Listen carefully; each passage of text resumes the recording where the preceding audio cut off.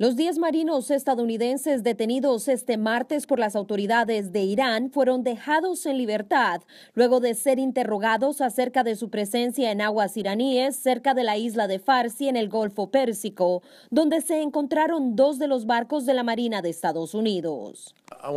Quiero resaltar que estoy contento con el regreso de nuestros marinos a manos estadounidenses. Como ex marino, como mencionó el general, yo sé mejor que nadie lo importante que nuestra presencia naval es en todo el mundo y sin duda en la región del Golfo Pérsico.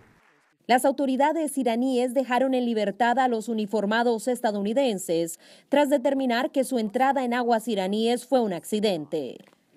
Hemos determinado que la entrada de los estadounidenses a nuestro territorio no fue un acto hostil, de espionaje o algo similar. Ellos terminaron en esa área debido a una falla en el sistema de navegación y ellos admitieron que no sabían que estaban cerca a la isla de Farsi, la cual es territorio iraní.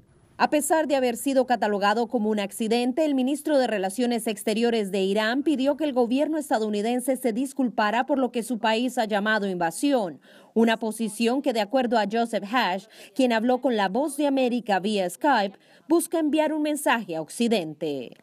Irán se ha envalentonado a través del tiempo de la inacción del Occidente en general, Estados Unidos en particular.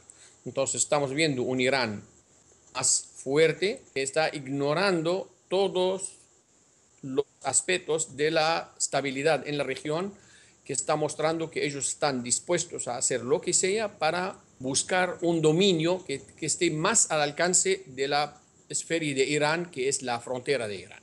Celia Mendoza, Voz de América, Nueva York.